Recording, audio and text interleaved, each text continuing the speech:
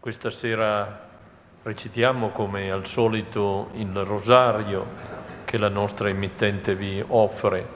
Lo recitiamo in modo particolare per chiedere al Signore il dono della pace nel mondo intero e in particolare fermare la guerra che sta insanguinando il cuore della nostra Europa, in Ucraina. Recitiamo il rosario dopo un momento eh, esterno di sit-in per la pace organizzato dal Rotary di San Giovanni Rotondo.